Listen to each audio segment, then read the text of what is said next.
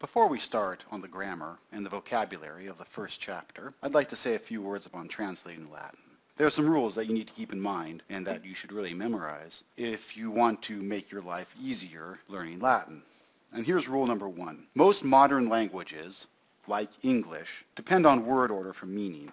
So what this means is that in English, there's a big difference between saying something like, the hunter, let's say the hunter kills the bear. There's a big difference between this sentence and this sentence. The bear kills the hunter. Now, how do you know who is getting whom? Well, it's the word order.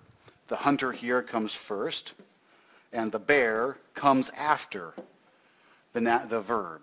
Here, the bear comes first, and the hunter comes after the verb, and that's how we know who is doing what to whom.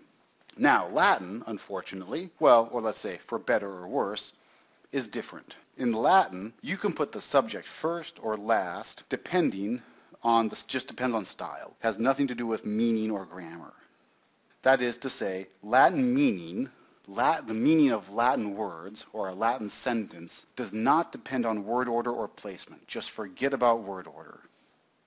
So that is to say, you shouldn't necessarily start translating with the first word. You'll always want to find the verb first, in my opinion at least. Where does Latin meaning come from? Well, the meaning of Latin words comes from the ending, that or the termination of the word. The ending of the, of the word gives us what we call the function, telling us if the word is a subject, an object, a possessive, all that stuff. So in Latin, the translation of the sentence we looked at earlier is venator, that is the hunter, venator, necat, ursum.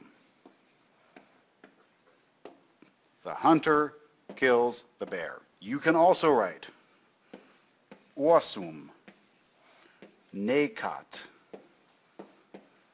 venator. And it is the same sentence.